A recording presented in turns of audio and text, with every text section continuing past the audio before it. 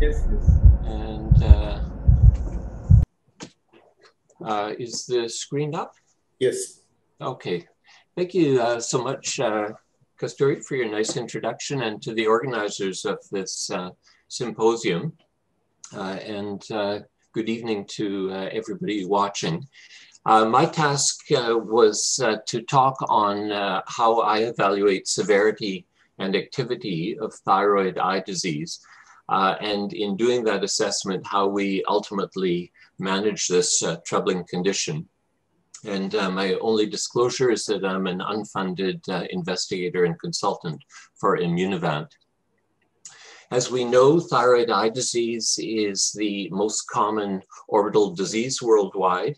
It's an autoimmune process that uh, causes inflammation, expansion, and in some cases, scarring of orbital soft tissues, including the orbital fat, uh, the extraocular muscles, the levator muscle, and uh, lacrimal gland. Uh, these uh, soft tissue changes uh, can lead to significant visual and cosmetic morbidity, which impacts uh, work, social life, and quality of life. One of the challenges with this is, can I minimize this screen here? There. One of the um, challenges with this disease uh, because of the broad spectrum of uh, clinical manifestations is how we actually catalog these uh, different uh, soft tissue changes and their severity, uh, how we monitor the course of the disease and uh, choose appropriate management. And that's the focus of this talk. Well, what is the concept of disease severity? That refers to the different anatomic and functional changes that result in the orbit as a result of the soft tissue uh, damage from the immune process, uh, monitoring both uh, uh the severity, uh, but also the activity. In other words, uh, where in the immune process this is. In my practice, uh, two thirds of patients roughly have primarily orbital fat expansion with uh, potential levator muscle uh, tightening, uh, causing eyelid retraction and proptosis and exposure symptoms and signs. These patients usually are young, have a very indolent onset without much soft tissue congestion or inflammation, uh, are not uh, necessarily smokers, um, but can lead nonetheless to quite severe alterations in their appearance. At the other end of the spectrum are those more severely affected functionally, uh, and these uh, have one or more of the extraocular muscles uh, enlarged and inflamed. And the swelling of these muscles can lead to congestion of the orbital venous uh, drainage, leading to inflammatory soft tissue changes or congestive changes, as well as a restriction in motility. And in those cases where the nerve can be compressed in the tight orbital apex by these swollen muscles may lead to vision loss from optic nerve compression. This latter group is um, this uh, latter group uh, typically are older patients, uh, more equal uh, gender distribution. The fat expansion group primarily is female uh, to male, five to one ratio, whereas this uh, muscle expansion group is a more equal gender distribution. And this has a very rapid onset, which um, is easily documented by the patient and the clinician more acutely uh, also associated with smoking and family history. And this latter myogenic group, our, uh, or myopathic group, uh, have a very obvious biphasic uh, course as described by Rundle uh, back in the 1940s. Uh, the active phase consists of progressive deterioration in uh, symptoms and signs relating to the orbit, which can last anywhere from half to one and a half years uh, before the disease eventually uh, um, dies down or the immune process dies down. Uh, but the patient is often led, left with significant orbital sequelae. The hope in these cases is to identify this severe group early on in the process uh, and offer immunotherapy or radiotherapy to uh, interfere with that immune cascade and hopefully result in fewer uh, severe visual and functional changes. Only once the disease has uh, stabilized do we usually consider surgical rehabilitation, uh, although the exception is in uh, cases where vision is threatened from corneal breakdown or from optic nerve compression, uh, in which case uh, surgery may be offered even early in the active phase uh, to try and reverse the process. As you can see then, it's important we not only determine the severity uh, of the disease, the, the different um, clinical features and how badly the patient is affected, but also the course of the disease, whether we're going to offer medical uh, therapy or radiotherapy or potentially surgery. Well, what are the strategies for uh, grading severity? The common one uh, used, uh, particularly amongst endocrinologists, is the European Group of uh, Graves Orbitopathy or EUGOGO system. Uh, they grade uh, mild, moderate, severe, and very severe based largely on treatment categories. this is quite helpful for referral. So uh, moderate to severe often are treated medically or referred to a center where medicines are chosen. And uh, sight-threatening conditions, which are the very severe ones, may require surgery. However, I think there are limitations with this. Uh, one, with the system, one is that the terminology often ignores the patient perspective. For example, someone that uh, might be called mild because they've got proptosis of 24 millimeters uh, but uh, and lid retraction uh, may still be very severely bothered or impacted by their disease. And likewise, someone at the other end of the spectrum who has uh, optic neuropathy that only manifests with some mild color vision change wouldn't really consider themselves necessarily very, very severely affected. Also, there are mixed clinical features within the groups. So uh, proptosis, for example, can appear in all three groups. And I, I think a system, this uh, uh, confuses management uh, potentially. For example, moderate to severe, often the management um, systems using this uh, uh, EUGOGO system recommends steroid therapy. Proptosis, for example, doesn't work well or doesn't respond well to corticosteroids. What about existing uh, activity measures? Uh, well, the, I think most of you will be familiar with the clinical activity score introduced by the Amsterdam group.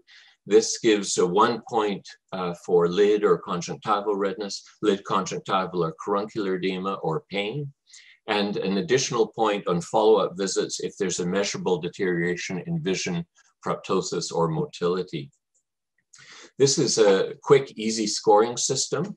It was devised to predict responsiveness to corticosteroids, which was the available treatment at the time. And generally, it uh, can be used as a surrogate marker for um, inflammatory activity. But there are limitations. It's a binary scale, so you can have a measurable or an obvious improvement, let's say in chemosis, but still have a little chemosis, and that doesn't reflect as improvement in the score. There's an equal weight for each variable. So someone, for example, may have a drop in five lines in vision, and that only gets a point in the CAS score, as well as someone who just has some mild injection one day from dry eye. And it's uncertain uh, if the clinical activity score actually predicts any progression in disease. There are also important false negatives and positives to be aware of. I mentioned the lipogenic uh, phenotype uh, without uh, much extraocular muscle involvement. These patients may develop quite marked proptosis and lid retraction uh, without ever developing uh, a significant CAS score.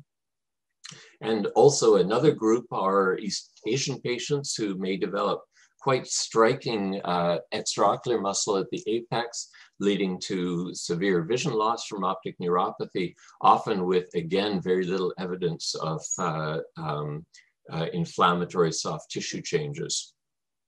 And then there are some false positives. Uh, this patient was on uh, the corticosteroids and uh, uh, CellCept for a year and a half trying to treat congestion when she was referred to me, but in fact had no progressive disease by history.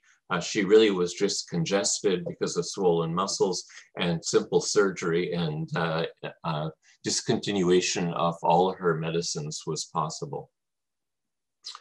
I prefer actually a system uh, of grading activity based more on the clinical uh, course of the disease, uh, documenting is it a brief duration, has there been a rapid rate of onset, and specifically both from the patient perspective and the clinician measuring from visit to visit, whether you can measure actual changes in any one of the uh, severity parameters.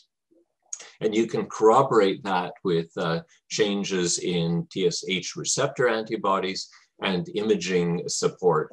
Uh, contrast CT on this uh, example uh, shows active disease on the uh, patient's left orbit uh, and old quiescent swollen muscles from a previous attack on the right side, where you have hypolucent, non-contrast enhanced muscles. Uh, likewise, on T2 or STIR-weighted MRI, uh, you can see enhancement uh, often in the active muscles uh, from uh, inflammatory edema. I'll introduce the VISA classification, which ITEDS has adopted and which Jack Rootman and I introduced in 2006, which tries to record severity and activity in one clinical recording form um, and focuses on four uh, disease uh, severity parameters. So it divides uh, the disease into uh, vision or optic neuropathy, inflammation, congestion, uh, soft tissue changes, strabismus, including diplopia, and appearance exposure changes. It uh, has both the patient's subjective input for each of these, as well as measurable uh, changes. Uh, uh, for example, in vision, you'd record the central vision, color vision, uh, pupil response, appearance of the optic nerve, uh, all clustered within that particular parameter. And then you can, at the bottom of the sheet, for each parameter, determine whether they're mild, moderately, or severely affected. And in terms of activity, not base this on any soft tissue score, but whether there has been subjective or objective progression in any one of these parameters. So for example, if someone uh, has optic neuropathy, we try to rule that out first. Uh, subjectively, we ask about vision loss, faded colors. Objectively, we measure uh, the signs uh, suggestive of optic nerve compression. We can support it with visual fields and a coronal CT scan in the case of compressive optic neuropathy. And if present, then choose selective management. For each one of the severity parameters, after you've determined uh, whether they have features and how severely they're affected, you then for you can then ask, are they progressive or not? Are they active or not? In optic neuropathy, they typically are active when they declare themselves. In this case, uh, corticosteroids and radiotherapy have both been shown uh, uh, by a number of studies to be effective for this condition. Uh, optic neuropathy can even be uh, avoided if uh, radiotherapy is offered early. and in cases where medical or radiotherapy is ineffective or insufficient, uh, you can consider surgical decompression, expanding the orbit into the adjoining sinus and relieving pressure on the nerve. The inflammation congestion score uh, refers to any soft tissue change. And remember that may not just be inflammation representing activity, but we pointed out you could have passive congestion from long-standing muscle swelling without any, with the disease already having died out, or you can have exposure change without progression, uh, but just damage on the surface from uh, poor lid closure and proptosis.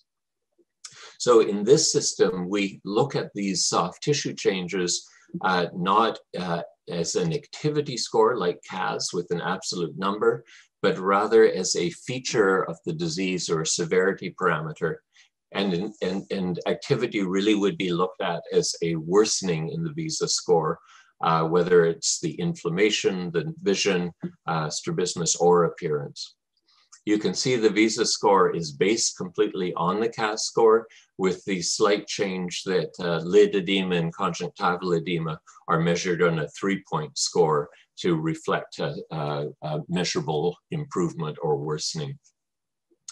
So again, if someone presents with a lot of soft tissue scores, you can grade that using the VISA score, similar to the CAS score, but ask whether it's recent onset or progressive or documented. If it is recent onset and getting worse, uh, then we can do the usual measures. And this is the large category where the various medical options are available to interfere with targeted uh, parts of the immune pathway, which will be discussed uh, shortly. So corticosteroids, uh, radiotherapy, and the uh, newer uh, biologic agents such as tocilizumab and teprotumumab are all possibilities uh, in this myogenic, uh, more severe group, not only to try to avoid the onset of uh, um, uh, things like strabismus or optic neuropathy, but to reverse them. Notice that steroids and radiotherapy are very good at reversing congestion and uh, uh swelling, uh, but do not have much effect on lid retraction and don't generally have much effect on proptosis, unlike some of the newer agents like teprotumumab. If a patient has long-standing disease, however, and if there's no progression, this is a sign not of activity, but rather chronic muscle congestion of the venous drainage. And here medicines won't be useful, but rather orbital decompression will restore the uh, patient's uh, or improve the patient's situation. The last two groups are uh, strabismus and appearance. Strabismus and diplopia are the worst uh, um, manifestations of the disease according to most quality of life uh, surveys. Uh, diplopia can be measured on the Bahn Gorman scale, uh, that is diplopia only with gaze, diplopia intermittently, or the worst case diplopia at primary. Uh, objectively, if you want to measure ductions, a useful technique is to use a light uh, pupil reflex where the light is shone in the eye. As a patient looks up, if it hits the limbus, it's 45. If it hits the edge of the pupil, 15, and halfway between is 30 degrees. And this is very reproducible in multi-center studies. Again, once you've documented the severity, what, how bad the strabismus is or how bad the ductions are, determine if they're in a progressive phase based on any change in the VISA parameters. Uh, if so, then uh, patch prisms and uh, various uh, immunomodulators, steroids plus radiotherapy, teprotumumab or tocilizumab if available. But once the disease has reached a stable point, typically surgery or patches or prisms are offered to try to realign the patient. Finally, appearance exposure changes. This may be both because of myopathic disease or at the other end of the spectrum, the lipogenic fat expansion with lid retraction. Uh, in these cases, again, if they are in a progressive change with progressive worsening in the lid retraction or proptosis or swelling of the uh, levator with uh, contrast enhancement showing that this uh, muscle is being targeted, then you could consider subconjunctival uh, corticosteroid uh, into the area of the levator has been shown helpful at uh, lowering the lid. Uh, selenium has shown some benefit in lid retraction. And most interestingly, recently, teprotumumab seems to, in this lipogenic group, even reverse proptosis and fat expansion potentially. Ultimately, many of these patients, nonetheless, in spite of therapy, uh, will benefit mostly from surgery. Unfortunately, the surgical results can be uh, very positive. So I'll finish by saying it's important in assessing our patients to determine their severity, that is, what features of the disease they have and how badly they're effective. And in the VISA system, that would be uh, vision, inflammation, strabismus, and appearance. Uh, recognize if they're in the myopathic group, in which case they're more likely to get uh, serious complications like uh, vision loss or double vision. And within each cluster, is it progressive or is it active or inactive? Activity uh, being defined primarily by progression in disease. And here the various corticosteroid, radiotherapy, and the newer uh, immunomodulators, targeted uh, immune therapy uh, are offered in the progressive phase in all of these categories, uh, but once they've reached stable phase, surgery is offered. And the last category, appearance, uh, typically progressively, uh, we uh, treat conservatively, but once stable, I would consider decompression and lid surgery.